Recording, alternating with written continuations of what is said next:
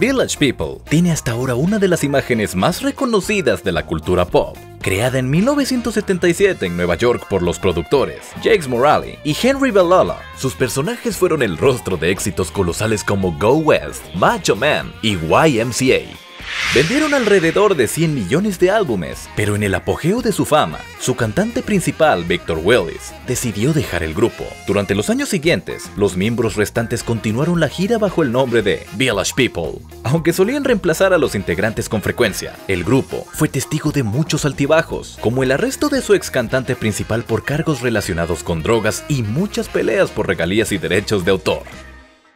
¿Quiénes son los creadores de Village People? La historia de Village People comienza con Jacques Morali, un francés de ascendencia marroquí que vendía discos en el aeropuerto francés de Orly, mientras intentaba forjar una carrera como músico de orquesta en París. Pasó una infancia difícil en la ciudad marroquí de Casablanca, donde tuvo que lidiar no solo con su homosexualidad, sino con una madre que siempre quiso una niña y por eso mantuvo una relación distante con él. En 1975, Jacques conoció en París al productor Henry Bellola, también marroquí, quien le propuso pasar una temporada en los Estados Unidos, y el momento no podía ser mejor. Tras la crisis del petróleo de 1973, la posterior recesión económica y la retirada de las tropas estadounidenses de Vietnam, surgió una nueva sensación en el país. Las discotecas se convirtieron en una vía de escape para la sociedad de la época. Este pasatiempo, que liberó a millones de personas de los problemas y aficiones del mundo real, también fue un negocio lucrativo. Jax y Henry decidieron lanzarse al negocio. Fue entonces cuando crearon The Richie Family, un trío femenino que tuvo éxitos como Brasil y The Best Disco in Town. Sin embargo, ellos querían más.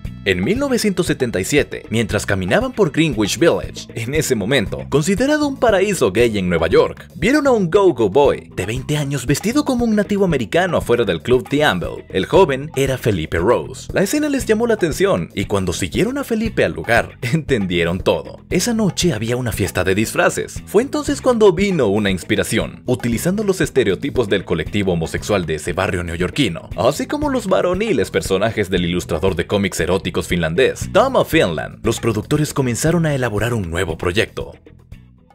Se buscan nombres con bigote. En la primavera de 1977, como prueba, grabaron cuatro canciones con algunos cantantes de estudio. La cinta, que vino de la mano de Neil Bogart, el fundador de Casablanca Records, fue lanzada el 11 de julio del mismo año. Para sorpresa de todos, el álbum homónimo que sirvió como debut de Village People vendió más de 100.000 copias en solo unas pocas semanas. Ese verano, en los clubes gay de los Estados Unidos, los éxitos San Francisco, You Got Me, In Hollywood, Everybody is a Star y Fire Island sonaron hasta el agotamiento. Los títulos precisamente hacían referencia a lugares de Estados Unidos con buen ambiente, para otoño de 1977, Jax había encontrado el sonido que caracteriza al grupo. Coros masculinos intensos que repetían frases cortas junto a un respaldo sinfónico irresistible, pero necesitaba urgentemente una banda de carne y hueso para presentarlo, principalmente porque además de sacar sus discos, el sello pensó que en conciertos serían una mina de oro. Los primeros elegidos fueron tres de los cantantes que participaron en el primer LP, Village People, el actor Victor Willis, el Go-Go Boy, Felipe Rose, y el músico Alex Briley. Luego, reclutó al bailarín Randy Jones, y para encontrar a los dos restantes, Jakes Morale publicó un breve anuncio en un periódico. Se buscan hombres con bigote. Así se unieron el bailarín David Hodo y el cobrador de peaje Glenn Hughes. Lo que llamó la atención del grupo fue su mirada excéntrica. Aparte de las imágenes llamativas, hay una cosa que hicieron hábilmente bien. Diseñar seis símbolos que evocan la masculinidad, uno para cada estrato de la comunidad gay. Así fue, Felipe Rose de indio, Alex Briley de soldado, Victor Willis de policía, Randy Jones de vaquero, David Hodo de obrero y Glenn Hughes de motociclista.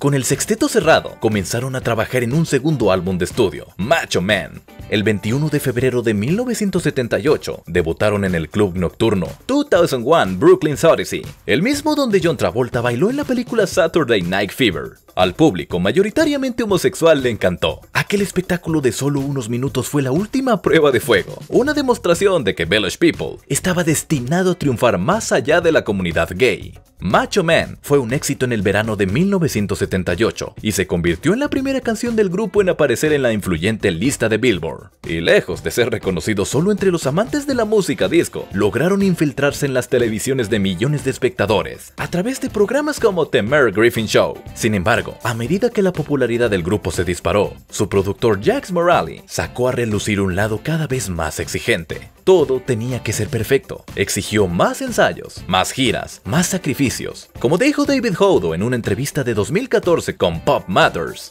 habían pasado cuatro años. Yo estaba agotado. Nuestros productores no sabían cuándo parar. Hubo un tiempo en que podías ver Village People dos veces por semana en la televisión. Incluso nosotros estábamos como, ¿otra vez? Ya no tenía amigos. Yo quería tener algún tipo de vida. El glamour es lo que el público ve, pero no tiene idea de lo que acabas de hacer para poder entretenerlos. Randy Jones, el vaquero, dijo en un programa de televisión británico que no podía seguir el ritmo de los incansables ensayos, grabaciones y viajes, y afirma que esa fue la razón por la que terminó dejando el grupo en 1981 famosos por canciones de doble sentido. En el otoño de 1978, consolidaron aún más su legado cuando lanzaron YMCA, que se posicionó en el número 2 de los Estados Unidos y el número 1 en Inglaterra. Aunque el título del disco que la incluía podría dar pistas de por dónde iba la letra, los medios sometieron la canción a escrutinio y sugirieron que tenía un doble sentido. YMCA significa Asociación Cristiana de Hombres Jóvenes, comúnmente asociada con academias que a menudo brindan alojamiento temporal a hombres sin The Village People canta sobre la asociación como un lugar donde puedes pasar el rato con todos los chicos. Supuestamente se da a entender que es un tipo de lugar oculto para reunir a jóvenes no comprometidos para que puedan dejar atrás sus preocupaciones y problemas y dejarse llevar. Aunque la letra no contiene referencias homosexuales específicas, la canción se ha convertido en un himno para la comunidad LGBT. En 2007, David Hodo, el obrero, le dijo a la revista Spin que la canción definitivamente era de origen gay y agregó que el primer álbum de Village People fue el álbum más gay de todos los tiempos. Quiero decir, míranos, éramos un grupo gay. La canción fue escrita para celebrar a los hombres homosexuales en la YMCA. Sí, absolutamente. Y a los homosexuales les encanta.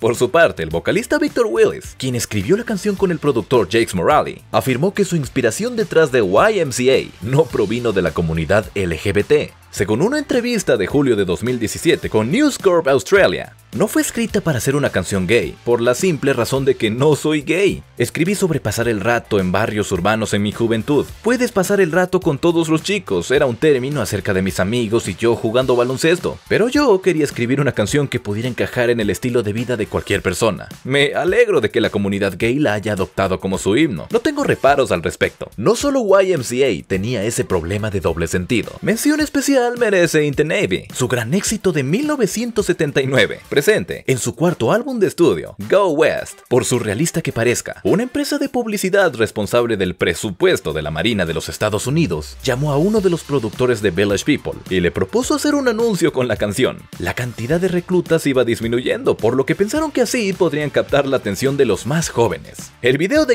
Navy fue grabado en San Diego, a bordo del USS Reasoner. Por supuesto, a los pocos días, las críticas no fueron gentiles. Tanto The New York Times como The Washington Post acusaron a la Marina de utilizar el dinero de los contribuyentes para financiar un anuncio de dudoso gusto. El anuncio nunca salió del aire. Líneas como, ¿dónde puedes encontrar placer? Buscar tesoros en el mundo, aprender ciencia y tecnología. ¿Por dónde puedes empezar a realizar todos tus sueños? ¿En tierra o en el mar? Así como la GMCA han dado lugar a interpretaciones de todo tipo. Aunque la imagen de Village People reflejaba la cultura gay que surgió de los clubes de Nueva York a mediados de la década de 1970. Víctor explicó que las canciones que escribió se referían a temas universales en lugar de dirigirse específicamente a las audiencias LGBT.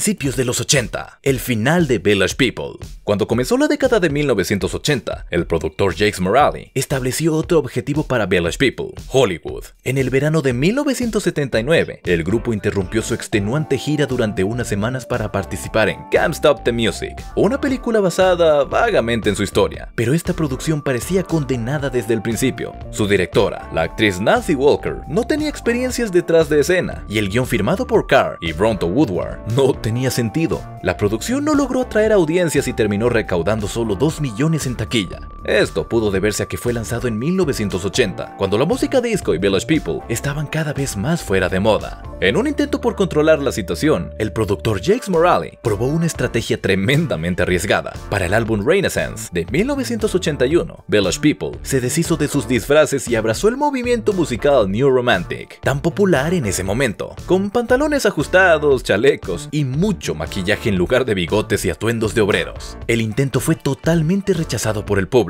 El álbum no produjo ningún sencillo exitoso y se estancó en el puesto 138 en la lista de álbumes de Billboard. No tuvieron mejor suerte con los lanzamientos posteriores, y Sex Over the Phone de 1985 resultó ser su último álbum de estudio. Cuando Victor Willis dejó Village People, Victor Willis no solo fue el cantante principal de Village People durante sus más exitosos años, también fue uno de sus compositores. Junto con los fundadores del grupo, escribió más de 33 canciones. El artista dejó el grupo sin previo aviso en 1980 y fue reemplazado por Ray Simpson, como la popularidad de Village People no fue la misma tras su partida, la discográfica convenció a Victor para que volviera, aunque solo accedió a grabar para el disco Fox in a Box, abandonando de nuevo el grupo en 1982. En los años posteriores a Village People, se metió en muchos problemas con la ley. Desde 1997, Victor solo aparecía en la prensa por estar vinculado con las drogas. En 2006 fue detenido por posesión de cocaína y otros productos de consumo. Fue sentenciado a tres años de libertad condicional con el requisito de ingresar a un programa de rehabilitación. En marzo de 2007, fue arrestado nuevamente. Una mujer que decía ser su novia le dijo a la policía que él la estranguló y la amenazó con un cuchillo. A pesar de lo anterior, el artista fue liberado y decidió retomar el control de su música. En 2011, inició una demanda para recuperar los derechos de sus canciones, y en 2013, el veredicto fue a su favor. In the Navy, Go West y YMCA son algunas de las 33 canciones de las que el artista logró recuperar los derechos de autor. En una entrevista con The New York Times, Víctor dijo, Todavía no sé qué voy a hacer con los derechos reclamados. Tengo muchas ofertas de publicidad y compañías discográficas, pero no he tomado ninguna decisión aún. He aprendido a lo largo de los años que poseer los derechos de autor te da mucho poder. Puedes impedir que alguien reproduzca tus canciones si quieres, o incluso oponerte a muchos de sus usos.